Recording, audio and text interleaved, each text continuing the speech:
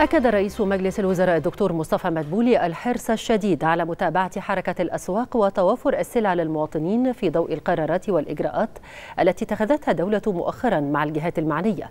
لخفض الأسعار واستدامة توفر السلع في الأسواق المحلية. وخلال اجتماع الحكومة الأسبوعية بمقرها في العاصمة الإدارية الجديدة شدد مدبولي على متابعة ورصد الحكومة موقف انخفاض الأسعار تنفيذا للتوجيهات الرئاسية في هذا الصدد واتساقا مع ما اتخذته الحكومة من خطوات وإجراءات بالتعاون مع القطاع المصرفي لتوفير العملة الأجنبية بما يسهم في زيادة حجم المفرج عنه من سلع وبضائع. وفي سياق آخر أكد رئيس الوزراء حرص الدولة بمختلف أجهزتها على إتاحة الدعم اللازم للمصنعين والمصدرين المصريين. من خلال تذليل مختلف المعوقات أمام دفع وزيادة الصادرات المصرية.